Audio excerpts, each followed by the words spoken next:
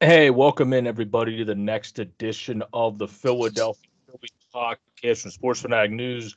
I am Joe, joined by the Andrew, as we're going to dive into the great success of our Phillies lately, as they're now third in the NL East, uh, notched up for second in the wild card. The last I looked, um, right, where are we behind the Cardinals? What they do last night? The We're currently the No, they- number two team. Two. We're number two two spot in the wild card. After Yeah, the yeah, because the Padres got swept. Yeah, by Yep. the Dodgers. Okay, cool, perfect. So we're going to talk about that. How the Phillies are nine and one in their last ten and on a five game winning streak.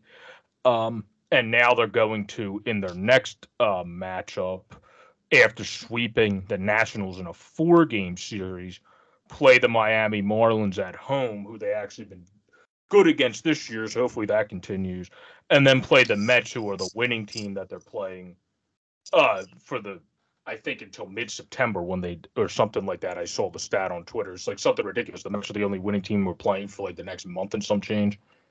So the Phillies have to still take advantage of the schedule. I think that's something we can start off with, which they've been doing better this year, minus the Cubs series. I would say, Andrew, wouldn't you say that's the best key to making the playoffs? Is continuing to do that, and then obviously finding ways to beat the Mets in that Mets series, who are clearly the best team you're playing going forward. Oh yeah, without question. It's something we didn't see in the past. Um, is taking advantage of a bad schedule. We saw last year you weren't able to get the job done and you missed the playoffs. You look at this year, I think we have a better team. I think we'd all agree with it. Um, you're going to stretch where, like you just said, the next month the Mets are the only team. And listen, I get it. We're, we're currently nine and a half games back, and that, that's unrealistic to probably sit here and say you're going to win the division. But like you mentioned, the only team you still got, you got six games with the Mets from August. Uh, what's today? Today's August eighth. So from August, um, playing this weekend, this Friday would be the twelfth, I think. So if we yeah, from August twelfth to the twenty fifth, you you play or sorry, man, my yeah, no, from August twelfth to August twenty fifth, you play the Mets six times.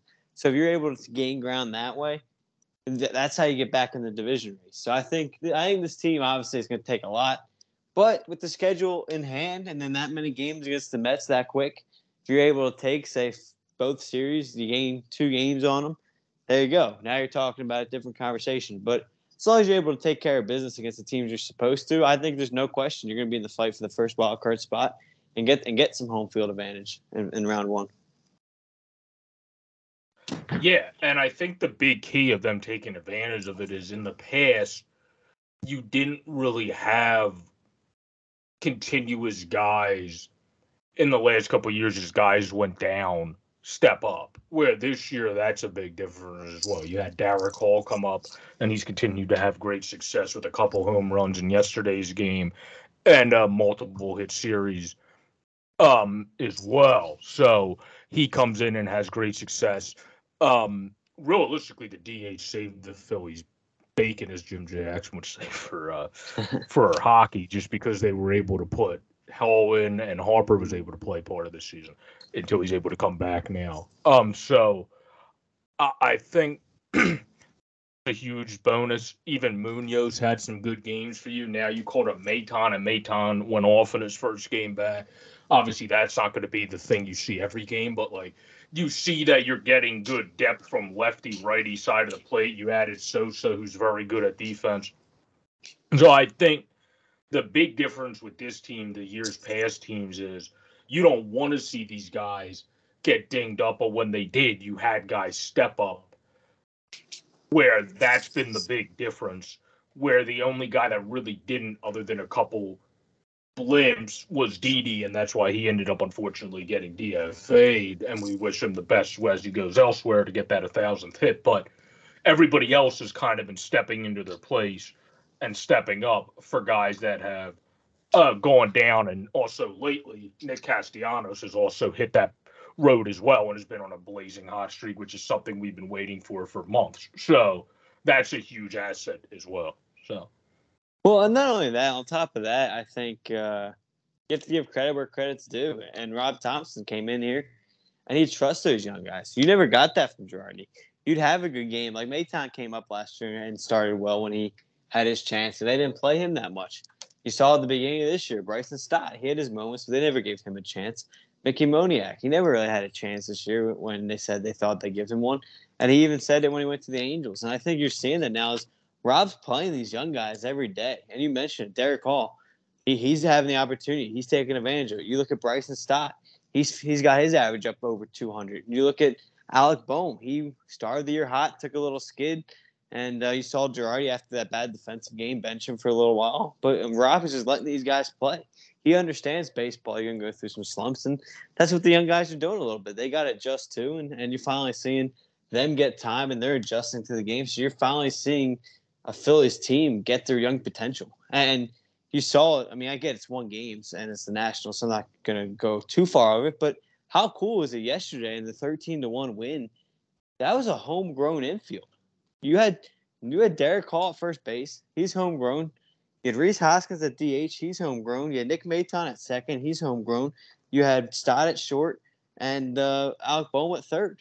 And Aaron Nola on the mound. That they were all homegrown guys. Obviously, the outfield's a different story, but if Vierling would have started, that would have been another homegrown player. So it's cool to finally see these guys finally come in after all we talked about how our drafting's been bad and everything, or our player development. You're starting to see it all click, in my opinion.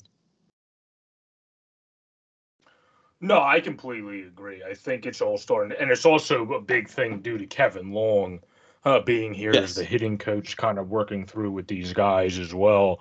So that makes a huge difference uh, when you have somebody that's so pumped up. Like when you see your hitting coach, I understand this is a small aspect of the game, but what, what we also know Kevin Long is exceptional with the behind the scenes, what he does with the guys from everything you read from Salisbury to Alex Coffey and all the other writers.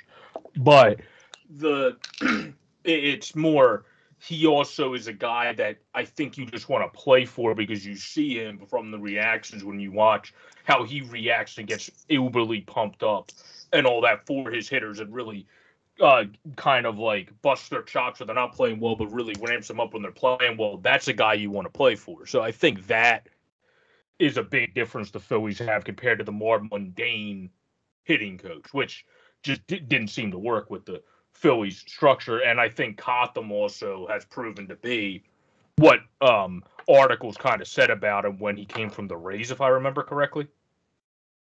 I thought it was, was the Reds. Reds, Reds, okay. Um, different R team, okay. Reds, not Rays. Um, I think, I think, I'm pretty sure. But either way, he's been doing good, and he's been getting guys. You saw um, doing well. Suarez has built back up well with him. Obviously, Will's pitch exceptional. Noah had one blimp year. They figured it out and got him um, pretty good this year. So uh, I think everything's coming to place. Gibby's been good this year too. So I think those two coaches play a huge effect. And like you said, Rob Thomson has been huge because he just lets guys roll. And it kind of reminds you of the Charlie Manuel style of managing, of saying to like Jayson Werth, yeah, I kind of am just going to let you roll, even though you haven't proven to hit righties yet but we're just going to kind of let you roll. That's what they're doing with the Vierling Marsh platoon. Both of those guys are better fielders than hitters at this point, but that's how you get them to be better hitters by letting them just roll and play out there. So that's why I think this team is better because they're having more confidence in their, um, I guess, cleats, so to speak, just because they're getting those opportunities and you're getting more reps. And – that's what's going to be interesting if Darick Hall can become the beautiful bench bat Harp comes back, or if Harper can play. But but then if Harper can play the outfield, Castellanos is probably going to DH. So it's still going to like Hall's going to be the guy that'll be interesting to see if he can transition when Harper comes back to being that great bench bat. That'll be the interesting thing to see because that's ultimately probably what's going to have to happen. Oh, absolutely. That's what's going to have to happen. Obviously, you're not going to play. I mean, you might be able to get some platoon playing time a little bit as you ease Harper back into it. But yeah, overall, I mean, Harper, Castellanos, especially with Castellanos back and swinging the bat well, are going to get the majority of the playing time. But no, you're going to have to. I mean, you you're going to get to a situation in the playoffs, and it's going to be seventh to ninth inning, and you got a big spot. You're going to need a big bat. And I mean, no offense to Matt Vierling, but that's a spot where if he's up, you're going to pitch hit with Hall, and then you obviously put Marsh there uh, in the outfield the in the next inning. So, you know, Hall's going to have to be ready. He's still going to get his time, and he's going to have to come up big in the postseason. I, I think he'll still be there. It's more interesting when Harper comes back. I mean, who you you're gonna have to get get rid of somebody else, and I guess, I mean, obviously on paper we're probably sitting here saying maybe Maton, but he's obviously swinging the bat well, so that's a decision they're gonna have to make here in a few weeks.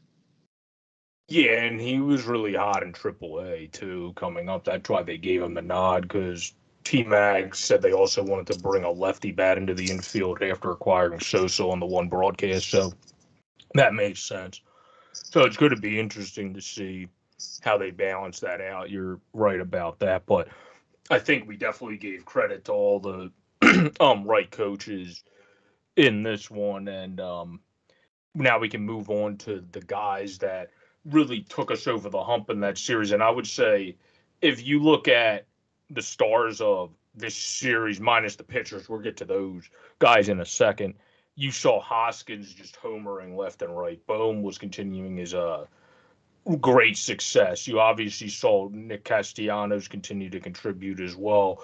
I would say uh, those guys, Hoskins, Bohm, Castellanos, if we're talking about the hitters, to me would be the encompassing stars of the series. And then if we're talking about a game, obviously Maton for that one game would have been a star of the but that's not a series, that's a game. So I would say of the series, I would go with those three guys if I'm talking about the lineup.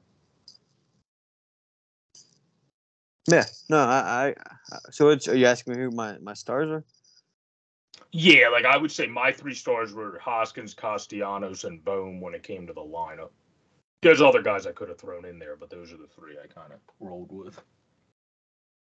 Yeah, those are probably the three you have to go to. Uh, the only other one I'd say is JT's been swinging a hot bat. He's he's fixed this season. Obviously, he had a day off in the in the final game, but overall, I mean, JT's been swinging nothing but a hot bat, getting his average back up to where we usually see it, his OPS and everything. So, I think if I was going to defer for one, I'd throw JT in there.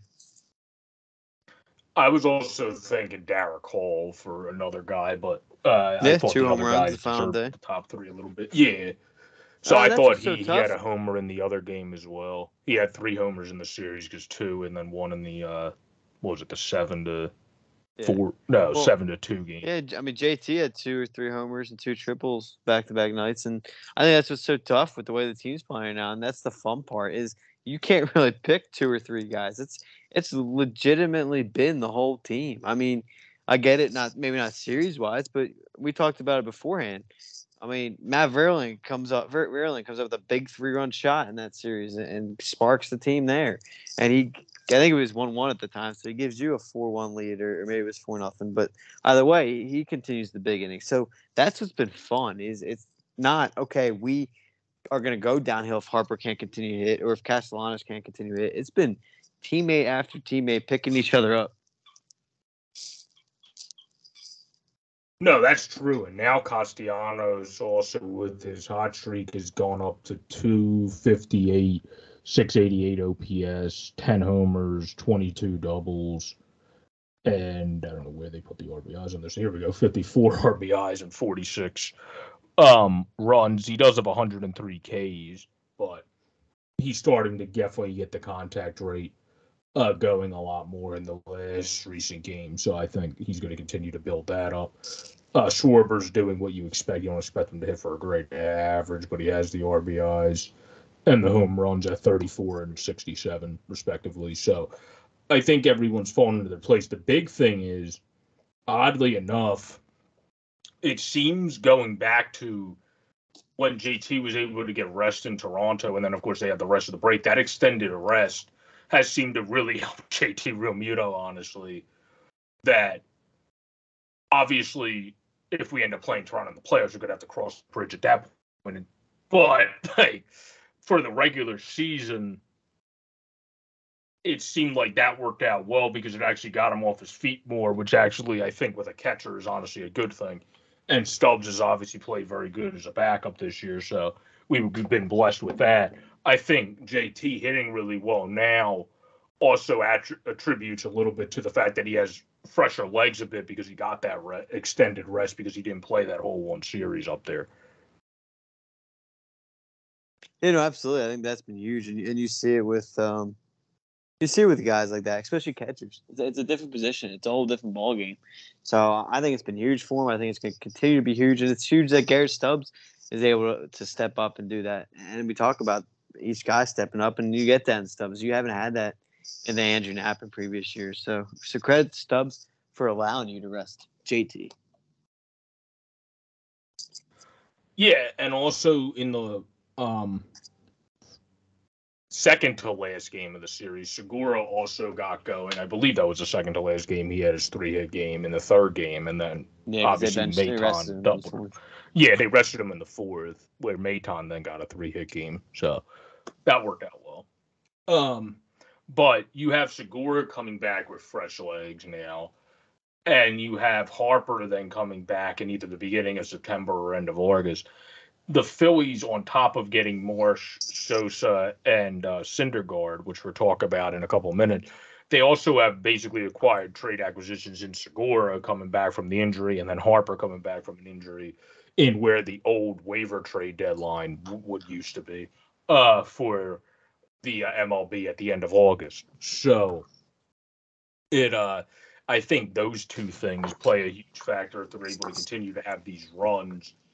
But particularly, like you said, that's going to play a bigger factor if we're able to continue to have these runs also in the multiple games we play the Mets, like you said, to the 25th, because there's a good chance Harper's not going to play in those games, No, yeah, ex- exactly. Except for maybe if he comes back somehow sooner in the end of the second series. But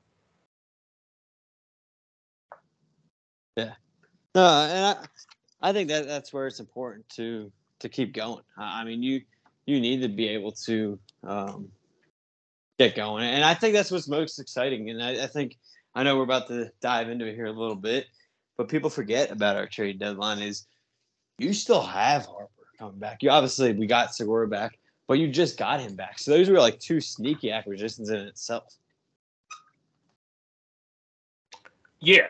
And you got a guy at Robertson who's already got a save for you in his first game here, so um who's been doing really good since coming back from his 16 months uh with his injury. So uh Bellatti's been a pleasant surprise. So they have everything going in the um bullpen. Uh plus I'm pretty sure Sam Coonrod's working his way back, and then Sherriff did make it through into the minors. So if you did have a lefty unfortunately go down, you could always add him back to the 40 man roster and then call him up. Um, but since he did make it through down to Lehigh, but I think everything's kind of fallen into place for this team this year, Oh, which yeah, is basically what you were getting at. Um, as well, which it kind of feels like the old school team a little bit more from when we were making the playoffs at first. Like if you talk about 07, you still had some injuries then. Guys stepped up and you were able to make it then. And then in 08, it built upon that and you were able to obviously win. So I think it's kind of starting to feel like that where you have different guys pick up the rope and run with it where you didn't have that in past years for really the past decade uh, with this team. So it's nice to see that now. But I think on top of I'm talking about the stars of the series, um, we should move into the guys that we actually acquired. And first we'll go to the pitching and then we'll move into the uh, two position players we acquired. I think uh, Syndergaard obviously got helped out by one Nick Castellanos' arm and two rain. Um, Yeah. but you, you know, uh, he still got a win in his first start, so there's that.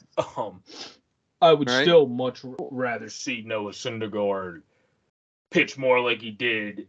That was basically the Syndergaard that was in those three bad starts we heard about when he was with the Angels, and then the rest of I think it was 15 starts were spectacular, and his ERA would have been much lower than a 3.8. Where we kind of got that off Syndergaard because which is maybe the extra rest did that because as everyone tends to say in baseball, detriment to a sinker baller is always extra rest. So maybe that did him in a little bit. So he'll come back and be better this time around.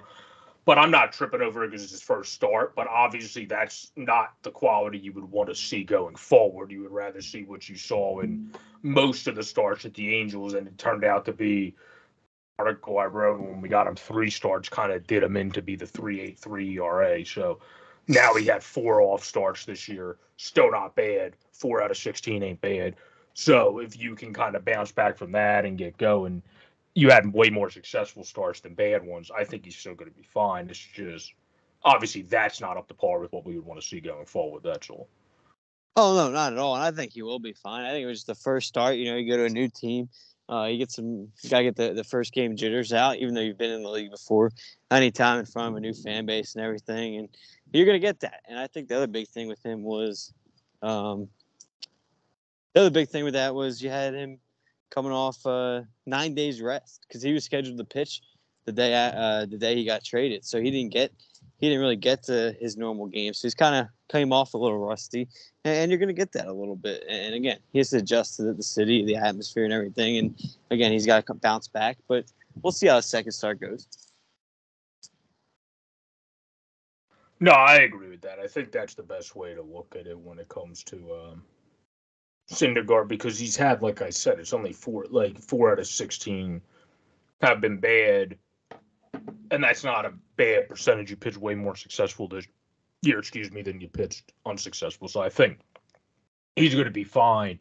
And for us, he's really your fourth guy at this point, anyway, with the way you have the rotational line. So having Noah Syndergaard as your fourth guy is a hell of a rotation or fifth technically if you're going to put Ranger Suarez in the fourth spot. So either way, it's a good thing to have. So I think they're going to be fine that way. And we brought back David Robertson, um, who is now getting his stuff back. Um, I know that's somebody you uh, really wanted that we talked about in text a couple times to come back potentially. So I'll spin it over to you to let you first comment on that one.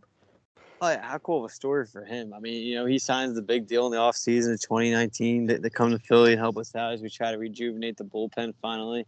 And unfortunately for him, he throws out, he gets hurt. He only lasts, I think it was six games, and all of a sudden he's done. And I thought it was pretty cool. The moment he got traded, he gets on. I, I forget with who, been John Clark or somebody else. Sorry to whoever, I can't remember who it was.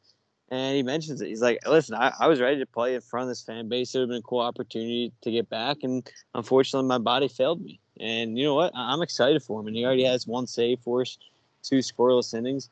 And uh, no, yeah, I'm ready for him to, to keep going and bring this team uh, back to the playoffs and continue to close games out. He's not going to be the, the, solidified closer. They're going to continue to go bullpen by matchup, which I honestly love with his age, Dominguez's age, and Dominguez. So it's it's good. It's going to be a full-on great, great way for this team to, to attack it and get back to the postseason.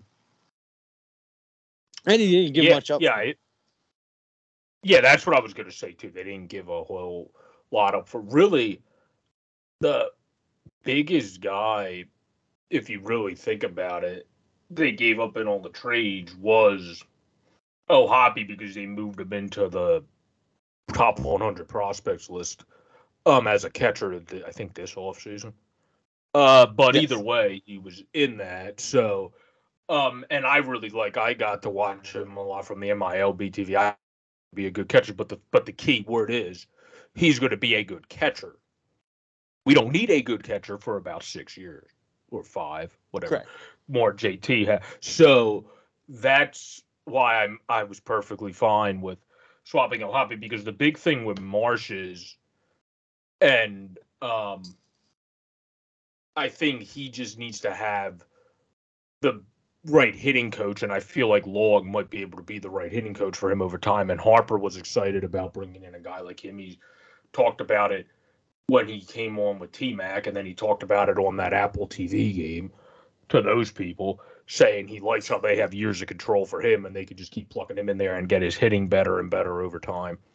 So you got your star player happy with that acquisition too, so that worked out fine. Uh, so I think that's plus he has the Charlie Blackmon beard, so what's not to like? Uh, right.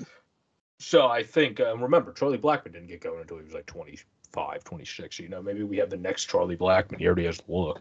Um, but also, Charlie complimented him big time. I don't know if you saw that, but there was an article. Charlie Manuel talked about how he really likes the defensive tools of Brandon Marsh and likes the fact that he thinks he can be a well rounded hitter that has more power and all that over time. So I think you have the right people in organization to be able to help him. Because even if needed. We know how much Chuck still kind of is around the organization. So like those guys, Bowa, like anybody can help those guys with how much great talent is around that organization from former baseball managers or players. So yeah, absolutely. And I think that's that's what you're gonna get in a guy like them, and I think it's, it's exciting to watch. And everyone, I, I, Brandon Marsh is gonna be a good player. I truly believe that.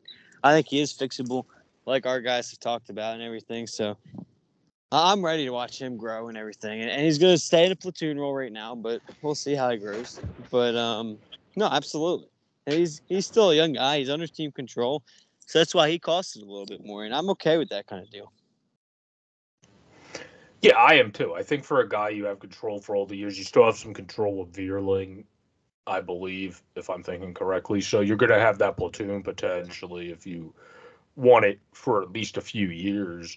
And Vierling also just profiles to me as a very good fourth outfielder. So why wouldn't you want to keep him around if he wants to stay around, even if he's not going to be starting? Because you have a great fielder, a guy that steals bases a lot of the times he gets on a good yeah. runner from first to third anytime. So I would say he profiles as a very good fourth outfielder at the very least. So he's a good guy to keep around even if Marsh develops. I think that's until at least Ortiz or somebody else comes up. I think that's uh, a good thing this team has, and I like that platoon because we already saw it have success. Vierling smacked a home run, and Marsh had a hit in his first game. Then he had a hit. But did he have two hits in the last game? I know we had eight. Uh, it, I get one hit in the last. Yeah, yeah, I think you're right. I think you are right. But uh, he was able to get two hits in the series. I think he's going to get going more over time. And like Andrew said, I'm excited to have a guy like him because one, I feel like at the very least, he's going to profile as the next Kiermaier. That even if he's not hitting exceptionally well all the time, he's going to be a Gold Glove center fielder. And if you end up with the Phillies, like the Rays typically were able to put enough, well, not always, but sometimes put enough guys around Kiermaier. That doesn't matter if you have one guy that's not the sexiest hitter, if he's uh, one of the best fielders or the best fielder on your team. So that also kind of cancels it out. Even if he becomes a 240 career hitter that has more doubles and power over time and hits more like Kiermaier does, getting the fielding that continues to be gold glove after gold glove, I don't think I'm good at complaining about the fact that he hits 240 to 245. Well, no, no. Not that I, am not going to be complaining about the. So that's the low end, I think, of Marsh. But I'm saying if that's the case, I, I'm not even going to complain about that. you're absolutely right, and I think that's the the important thing too, is people need to realize they you don't need his offense really assuming you're healthy everywhere else, you're going to score your runs. So you're going to need it for defense, and that's why they made the trade.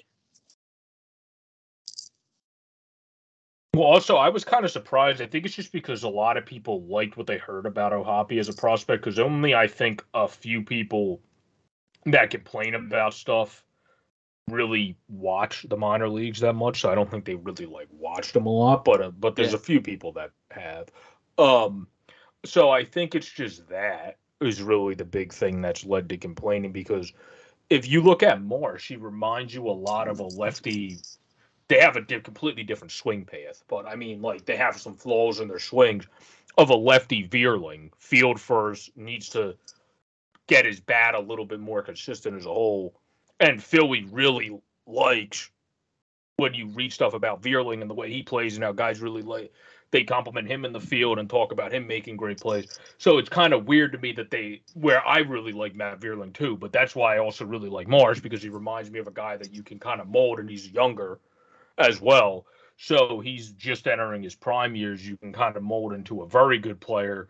Where Vierling to me is like your third outfielder or maybe a very good fourth outfielder. So like wherever position you try to put him. So I think uh, that's the difference. Or an infielder now, since Matt Vierling plays all over the place. So I guess he's really been realistically the Phillies are probably making Matt Vierling into Ben Zobrist. So this my and question. then Rick Marsh is good. Yeah, what? That's my question to you would be who would you say is better, Vierling or Marsh?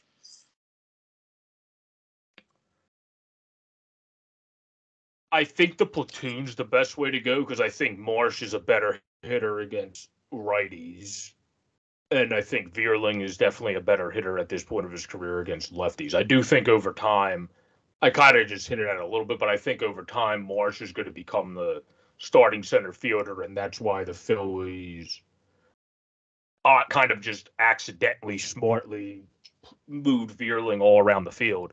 Uh, that's a nice thing now because now you have a center fielder that looks like he's going to potentially become your center fielder, and now Matt Vierling can literally just become Ben Zobrist Gotcha. without switch hitting. Yeah. Uh, so unless he wants to start switch hitting, then go for it. But the the fact that I think Vierling is really kind of solidifying his role on this team to be able to do whatever. He's even played third well this year. Uh, I think that's really going to help him having staying weight on the team because Thomson really likes him. It seems like Kevin Long really likes him. Uh, so I think I, I don't see him really going anywhere. I kind of see the outfield staying the way it is for a while because you have Castellanos locked up, you have Bryce locked up, you have control of Marsh, you have Schwarber obviously locked up, uh, and you have some control of Vierling, I don't think there's a reason to think, other than if somebody propels their way through the minor leagues, that the outfield is going to necessarily change. And at that point, you might just do a Dodgers thing because, like I said, Vierling plays every position. You don't have to get rid of him if another outfielder comes up. So, other than shortstop and catcher. So, I, I, I think that's a big side of a guy like him too. The Phillies are starting to develop people correctly, which is a big difference than we saw in years past. Where Gabe, I think, was just raw, and now he's starting to do that with Giants players, and they actually got some pretty good stuff for Darin Ruf from the Mets. So, I mean, he was able to get some decent trade chips and develop guys to be able to get traded for the Do- not the Dodgers for the Giants. Um, where the Phillies now with Thomson are able to kind of really mend these guys into roles. My most interesting thing is who's going to be that great fourth infielder going forward because I think they have a lot of guys in the minors, plus guys like that Baylor kid and a bunch of other infielders that are still coming up through the pipeline in AAA and Double A. That's going to be the more interesting thing because I feel like your outfield with your top four, if you're going to include Vierling in the outfield still and not in everything, uh, is kind of set where your infield is going to be Maton, is going to be Munoz, is going to be one of the kids in the minor. That's always your extra guy there. I think that's a good problem to have though, because in the past, the flip side we would always talk about is, oh, where the heck are these guys that we're going to find that are going to come up in this situation? We don't have anybody. Nobody's here. There's nobody here. Where now it's the opposite, and you're going, well, who out of these three, four people is going to? So it's nice to have that dialogue rather than the one that we had three to four years ago, or even two to three years ago, where you're like, oh Jesus. so that, there's a big difference, definitely. Yeah, absolutely. And that, that's where it's going to get exciting is this team does finally have that depth and everything. And they have Verley's basically what we wanted Scott Kingery to be.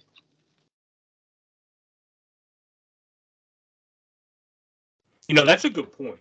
But I think Vierling also adds a little bit more just because he started in the outfield and then moved to the infield and started fulfilling that role where Kingery had to learn how to run routes in the outfield, which I don't think he ever got the sexiest at. He kind of just Yeah. was was able to get to anything because of his speed.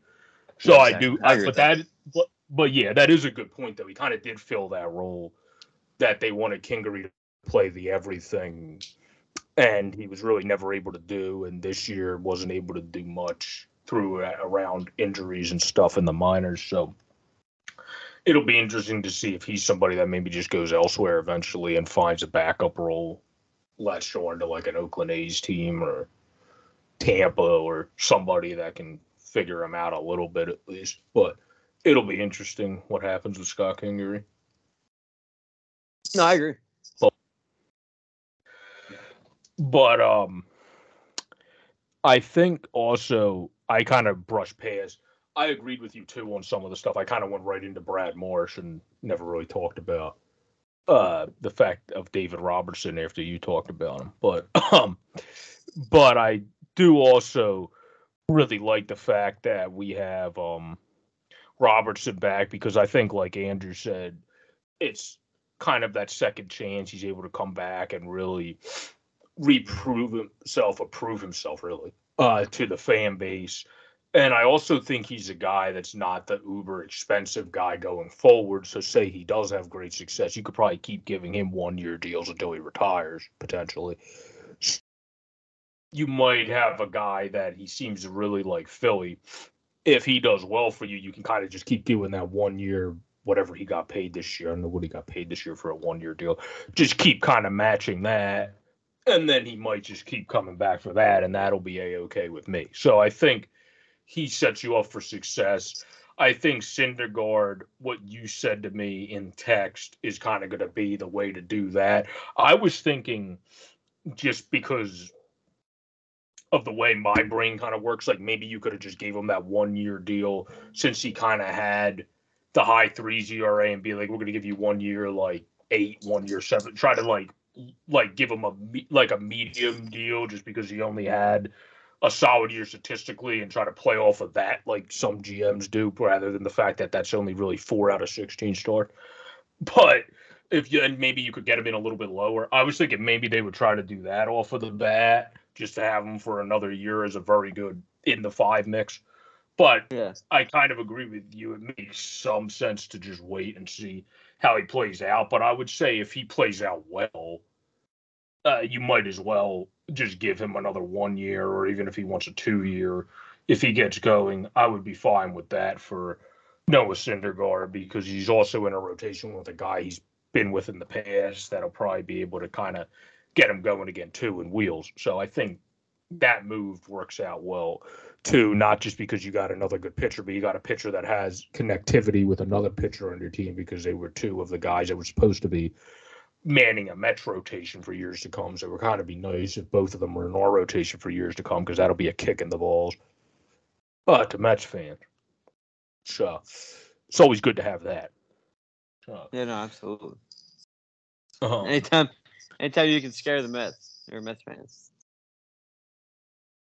but this year, uh, this question is probably going to be the hardest one um, that I would have to answer. But who's been the kind of I'm trying to think of the right way to ask this question, like the unexpected top performer this year for you uh, for this team because I feel like they've had about five or more of guys that have stepped up beyond kind of what you would have thought. So basically, who's like my most surprised player? Is that basically? Yeah, like basically, who's the guy that's the best performer of like, yeah, the under expected? You didn't expect them to do as well as they're doing, but you expect like you expect them to be decent, but they're really having a good year, like somebody like that, like a Stubbs or something like that. I guess I gotta give us the edge to Alec Bohm. I mean, I, I, I expected some growing pains from him, but I think his fielding's come along nicely. Obviously, he's not perfect, but I think he's really developed throughout the season. And then his bat, I get the power is not really what we thought it would be, but I mean, he's a very good contact hitter. He's starting to find the gaps more, so.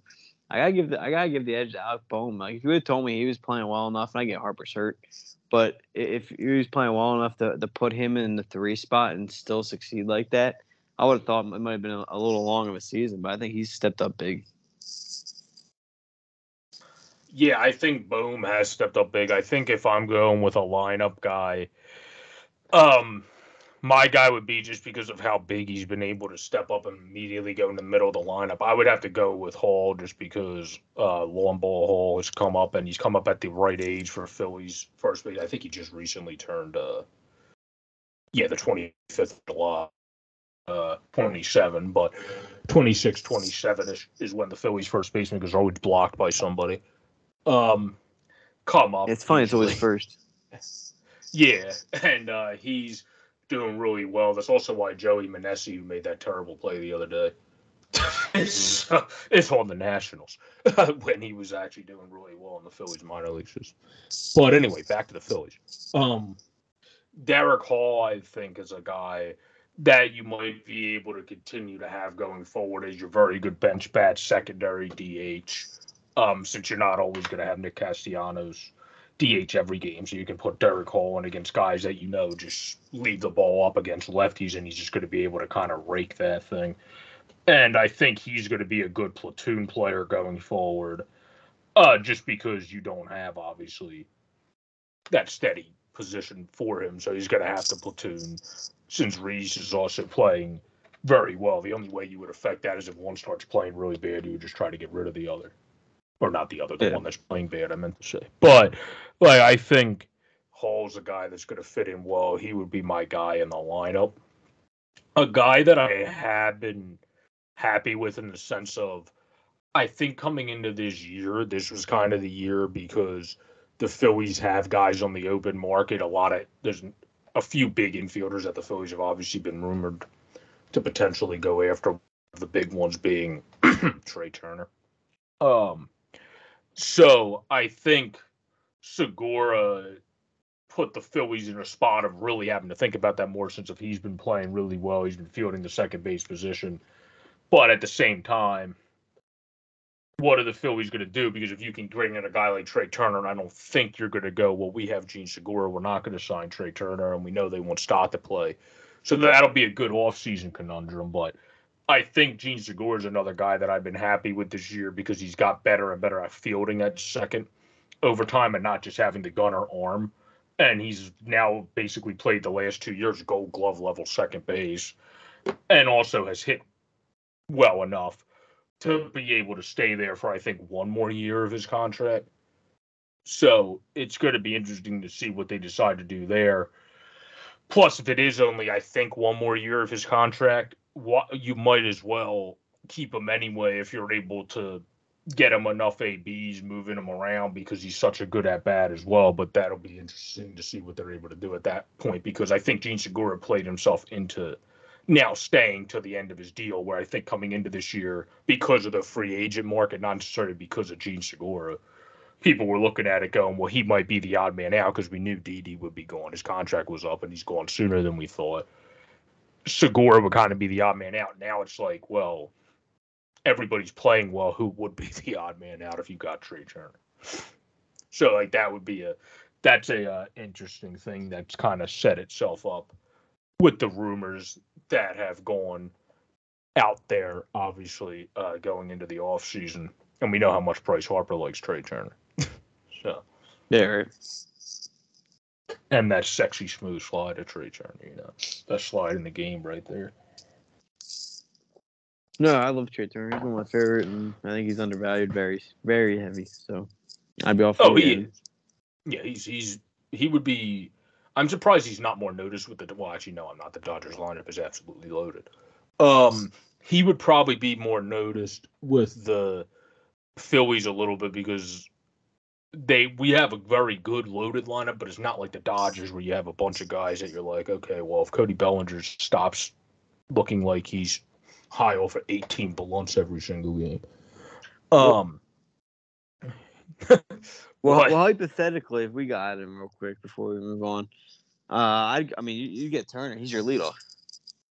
You go Trea That's Turner. too. Yeah, You go have to Trea Turner, Rhys, Bryce, Kyle, and Kyle can literally be your Ryan Howard in the middle. And I mean, think about that: Trea Turner, Hoskins, and Harper getting on all the time, and then all of a sudden, Kyle cleans the bases. I almost guarantee at least like two grand slams this season. Oh yeah, that's true. And then whenever you sub in Darick Hall in the middle of the lineup, you have another guy that can just mash it out of the yard when guys get on base. So you're Yeah, gonna you have go- a lot of guys that are around to be able to do that. Exactly. You go cast about the five. Um, then you probably go JT six, Bohm seven. Like that. That's unstoppable. No, yeah, that's why it'll be interesting to see what happens there. But I think it's all um, definitely coming into place nicely with the way things are developing. And also, I think we have to wrap up this episode talking about the bullpen because who would ever think we would be talking about a Phillies bullpen with great exceptional happiness um, in the recent years? in a finally, it's taking long enough. Yeah. You have Andrew Bellatti who talk about a great comeback story. He's another very good comeback story. He had to go through a lot off of the field. Yep. Um, and was able to come back pitch exceptional this year. And I think a guy that's almost become overlooked and underrated at this point just because he's only pitched, I think, 25 innings, maybe 24, one of those two. Brogdon's pitched very well in the games he's pitched this year. He just hasn't been seen as much because he hasn't been around as much.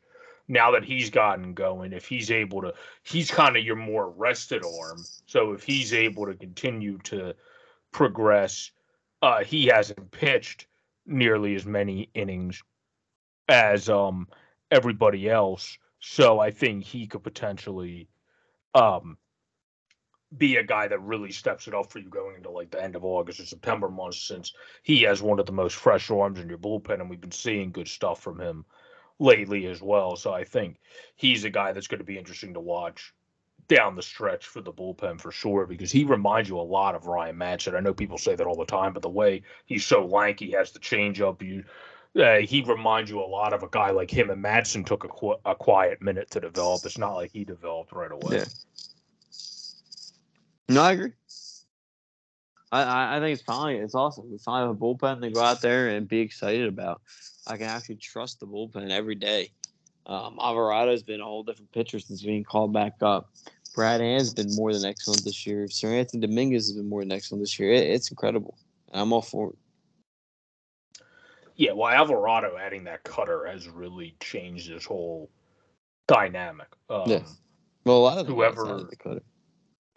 Oh yeah, and, and it's got to be Cotham. Like you, you gave a lot of a lot of credit to early in the show. Yeah, but for Jose, I would say it, it's just changed because all the a lot of the other guys didn't have the same control problem with Jose Alvarez, where it seemed like that cut or Jose Alvarez, Jose Alvarado, where it seemed like getting that cutter is almost like if he's having some issues, that's now his kind of get over pitch at times too, which then straightens him out and gets him going again.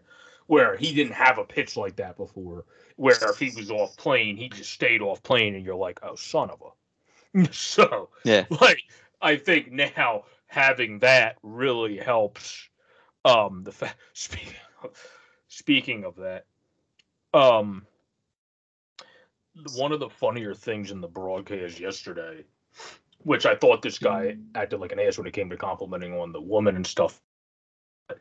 That one thing he said about pianos was absolutely hilarious after he said Bob Boone used to kill the grass running, he was so slow.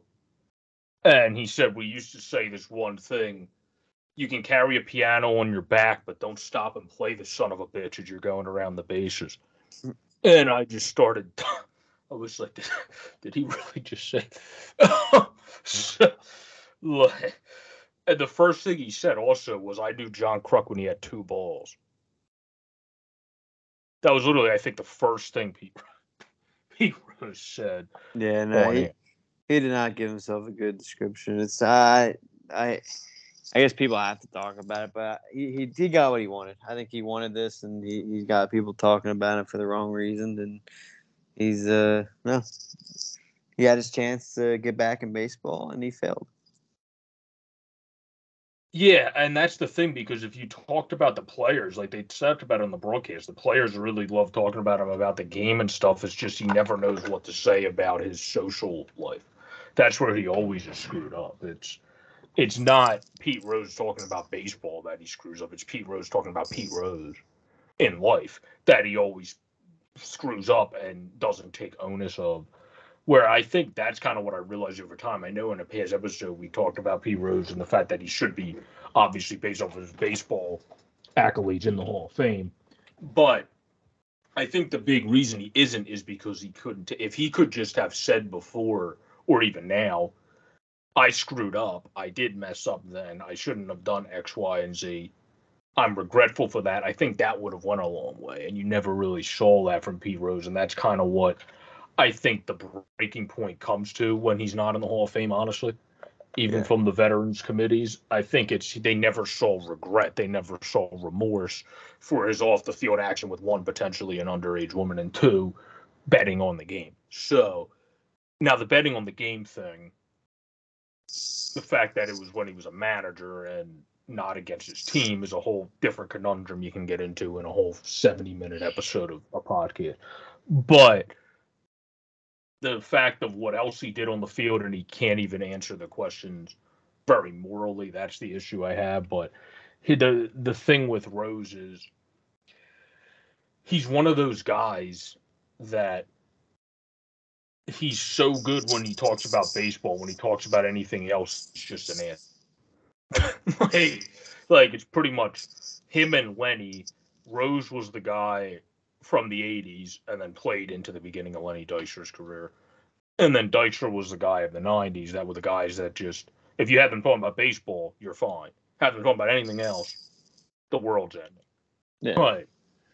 So, like, the, the, there's just certain guys that are like that. And I think for both of them, it's because of issues with Rose, probably more alcohol, and Dykstra, probably more cocaine. But uh, I think that played into the fact of the matter as well with the, the way that those guys' personalities were so and are. So I think that's a Uh, I think it's a lot of different factors, not necessarily just that. no. I don't think it's just that either. It's probably how they were raised. It's probably the type of community like that. Like all that type of stuff. I'm sure played in as well. But it- it's a shame because he's one of those guys that just pisses you off so much. Because if he was able to just show some regret and remorse, he would be allowed around a lot more. And you still saw the players talk about how they like talking about baseball with them and everything. And the guys like talking baseball with him, like Bo and everything. But you just don't want him around that much because he puts his foot in his mouth. So it's like that's the issue you have with Pete Rose. Like I wonder how he talked with John Clark because I know he did the uh takeoff or I think that's called takeoff, right? So, yeah, I always forget the name of the show. But yeah, it was with John The Clark. I remember watching that.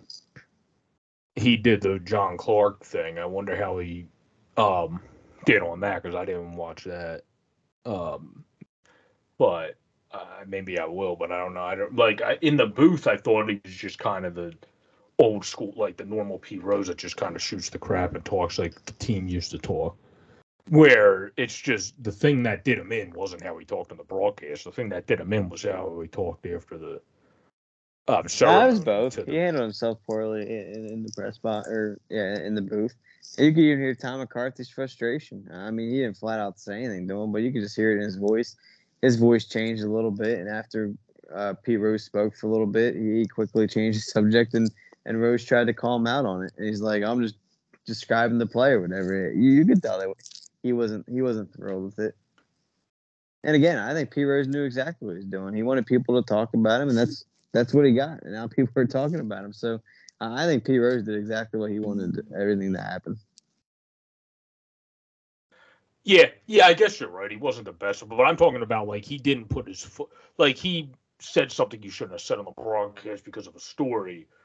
On the pre-broadcast, he reacted to a question about something that was a bad situation he got into years ago, and call like just reacted very poorly to that. I think that's what got people riled up more than the fact that he said no shit and all that on the air. I don't think that really pissed off a lot of people, but I could be wrong. I feel like the side that probably pissed off more of Philadelphia was the fact that he treats he still seems to not really understand how you're supposed to treat a woman. I think Uh, that kind of pissed off more. yeah, no, I, mean, I, I agree. I think that's what guy a lot of people mad too. Uh, No, don't get me wrong. I'm not saying what he did before the game wasn't bad. That was just, I mean, that was definitely bad. I just think uh, he, all around, he just handled himself poorly this weekend. It was a shame because now it's become the bigger storyline than the Phillies win, having a great week, splitting with the Braves, sweeping the Nationals, and, and then putting on a great alumni weekend. And, and I think Pete Rose started to overshadow it with what happened yesterday. And yeah, and I just think it's a shame because baseball gave the Phillies permission. They gave them another shot. And instead of, I mean, I always listen to the 97.5 and Tyrone said it perfect. I mean, um, yeah, Tyrone, said it perfect. I think he was the one that said it, but it was that uh, Pete Rose had a chance to, to help himself and he didn't. He had five years, and this is what he said.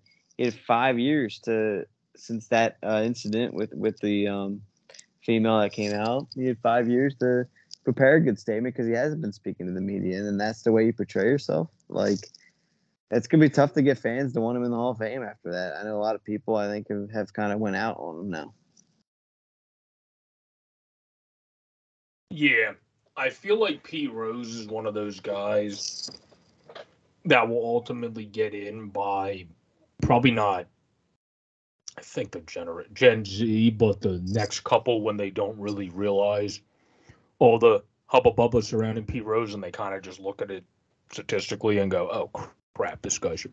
But I feel like eventually he'll get in from one of those generations because eventually over the next 50 so years, you're going to have a generation of voters that doesn't that that that would then be from a hundred and like what five years ago. So like there's like so I feel like over time on that'll he might get in from one of those committees just because of that because you're not going to have people that are benoist of the knowledge unless if they look it up and don't just care about the fact that he was one of the best players of all time you know what i mean? Yeah. No i hear so i do feel like eventually but it would probably be when we're older if he does get in because it would be by a generation that just doesn't pay attention to stuff that happened at that point over 100 years ago. And then votes him in off of his baseball merit. Uh, that would be what has to be. But no, I'm just saying in the broadcast booth, like obviously that story, you shouldn't have brought up that story about when the guy hit a home run and the guy was like, oh no shit. Uh, but the like some of the stuff he talked about in terms of baseball, like it reminded me of when they used to have Pete Rose and you would hear the highlights when he would like do stuff for the radio and stuff back in the day, and he would just talk about the game and shoot the crap. Like it did remind you of those old school highlights you can find online sometime. Minus the fact that he told that one story that he probably shouldn't have said. But the that's the that's the thing I was saying where I feel like what did him in was the post. But it is what it is. Um moving on to brighter pastures. Um I think we should definitely congratulate Bake McBride and Ron Reed for getting into the uh, Phillies Wall of Fame. Um, and both of those guys were a big contribution um, to the 1980s team as well. It's kind of surprising they weren't put in sooner when we have some guys from Andrew and I's generation that have been put into the Wall of Fame. Meanwhile, Bake McBride and Ron Reed are from the 80s and haven't been put into the Wall of Fame, but that's not here nor there, I guess. Doesn't matter, right? yeah.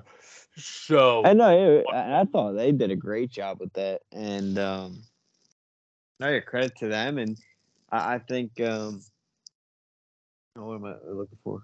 Uh, no, and I think it was cool from, and I don't know if you felt the same way. And obviously, you know, I hear stories from my dad and uncles and such about the 1918, but those are two guys, you know, not being from that generation, you don't really hear about, at least for me.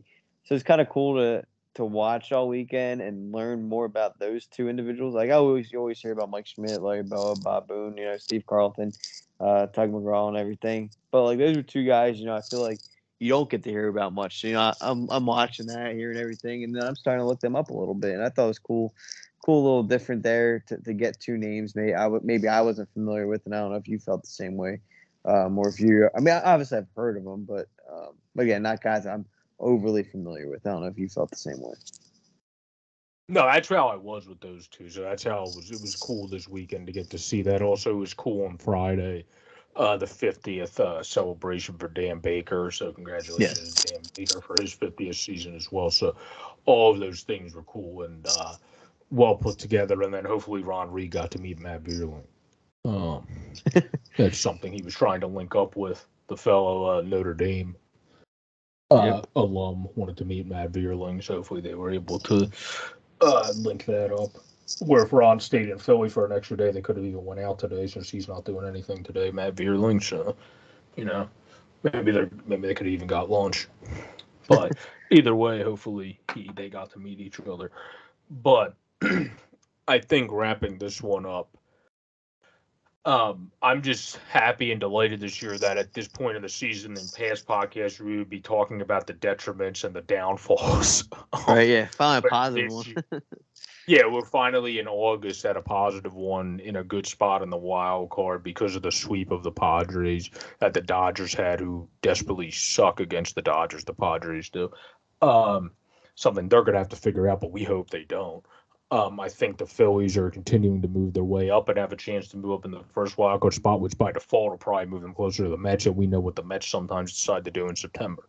So we'll have to see. We have to get ahead of the Braves first, but um, I think the Phillies are moving in the right direction, and adding a great pitcher like Syndergaard is only going to help because Zach Eflin's a very up in the air on if he ever will be able to come back this year, and then if he does, that's just an added bonus because now you have six starters that are pretty good, and Zach Eflin might be able to be that bonus guy out of the bullpen in the playoffs that's able to give you a couple innings that you tend to see a few teams have in the postseason. So if he does come back, that's just an added bonus. So I think they set themselves up uh, for a lot of success and also set themselves up for a lot of success by getting rid of Jeurys Familia, who couldn't pitch anymore.